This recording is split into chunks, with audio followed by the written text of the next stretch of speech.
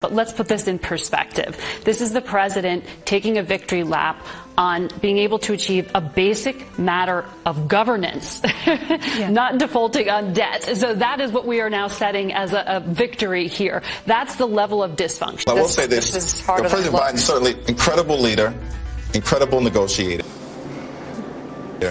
incredible strategist, uh, and he's strong, brilliant, understands nuance. Bro, what are you talking about, man?